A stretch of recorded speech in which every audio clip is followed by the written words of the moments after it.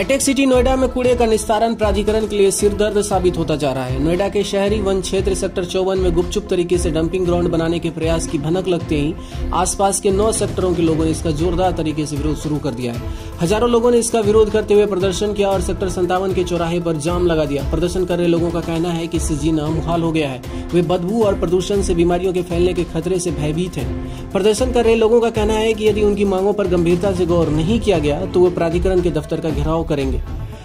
नोएडा शहर के बीचों बीच सेक्टर चौवन में बसा नोएडा का शहरी वन क्षेत्र में कूड़े कचरे का ये ढेर इस बात का गवाह है कि नोएडा प्राधिकरण ने गुपचुप तरीके से डंपिंग ग्राउंड बनाने का प्रयास किया है लेकिन इसकी भनक लगते ही लोगों ने इसका विरोध करना शुरू कर दिया। आज सेक्टर 22, पचपन छप्पन संतावन अंठावन उनसठ साठ सेक्टर बावन और तिरपन के हज़ारों लोगों ने सेक्टर चौवन में इकट्ठा होकर जोरदार तरीके से प्रदर्शन शुरू कर दिया। प्रदर्शनकारी यही नहीं रुके। वे प्रदर्शन करते हुए सेक्टर संतावन चौराहे पर पहुँचे और चौराहे को जाम कर प्रदर्शन करने लगे। इस दौरान वहाँ से कूड़ा लेकर गुजर रहे ट्रकों को भी रोक लिया गया। प्रदर्शन कर रहे लोगों का कहना है कि इससे जीना मुहाल हो गया है। वे बदबू और प्रदूषण से बीमारियों के फैलने के खतरे से भयभीत है। प्रदर्शन कर रहे लोगों का कहना है कि यदि उनकी मांगों पर गंभीरता से गौर नहीं किया गया तो वे प्राधिकरण दफ्तर का घेराव करेंगे।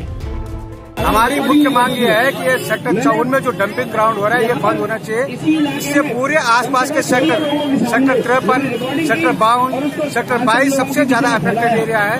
सेक्टर सत्तावन छप्पन और ये कॉलोनी के बीच में सेक्टरों के बीच में जो ये सेक्टरों के बीच में डंपिंग ग्राउंड है ये बिल्कुल अनधिकृत है और इससे प्राधिकरण को भी समझना चाहिए लोगों को कितनी घनी बस्तियाँ बसी हुई हैं लोगों को कितनी परेशानी हो रही है। अभी अभी तो डंपिंग ग्राउंड में कूड़ा कमी जमा हुआ है और जब पूरा कूड़ा जमा होगा तो इसकी गंध कहाँ कहाँ तक पहुंचेगी? हम प्राधिकरण से निवेदन करते हैं और प्राधिकरण से सख्ती से निवेदन करते हैं। कि जो है, ये डंपिंग ग्राउंड को हटाया जाए, इसका अन्यत्र कहीं शिफ्ट किया जाए, जहाँ बस्तियाँ न हो, ऐसी जगह में। कॉलोनी के बीच में कहीं भी, किसी भी शहर में कॉलोनी के बीच में डंपिंग ग्राउंड नहीं किया जाता।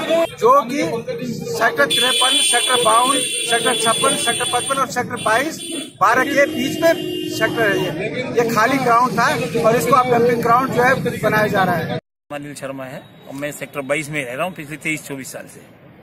और ये एनजीटी एक तरफ़ तो बोलती है जहाँ कहीं कूड़ा देखोगे और तो जुर्माना होगा उसके ऊपर।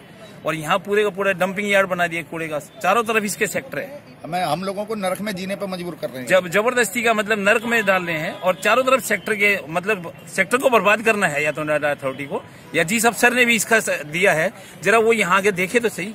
कि वाकई में लोग कितने परेशान है। एक तरफ़ कह रहे हैं ग्रीन बेल्ट है और ग्रीन बेल्ट के अलावा बोले यहाँ अम्यूजमेंट पार्क बनेगा तो आज ये डंपिंग बना दिया कूड़े का गार्बेज का डंपिंग कर दिया। अभी हम डेमोक्रेटिक वे में डेमोस्ट्रेट कर रहे हैं। अगर नोएडा अथॉरिटी अगर कोई एक्शन नहीं लेगी तो we will write to the higher authority we will write to the prime minister we will write to chief minister chief minister and higher authority pollution control board NGT को भी लिखेंगे।